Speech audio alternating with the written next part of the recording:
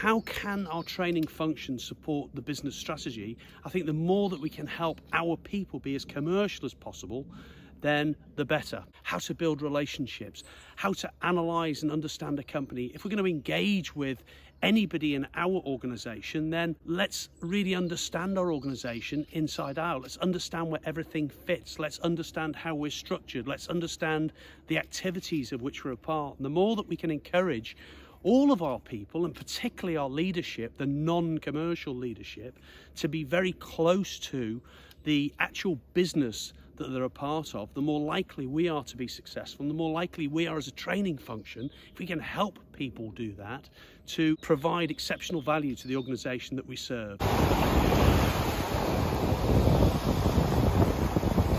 First of all, we can encourage our people to have very much of an inquiring mind. And then secondly, we can actually train our people to go about analysing, understanding companies, teach them about our own sector. And of course, to do all of these things, we ourselves, as the Chief Learning Officer and the Head of Training and Development, we ourselves need to understand this as well. How commercially confident are we?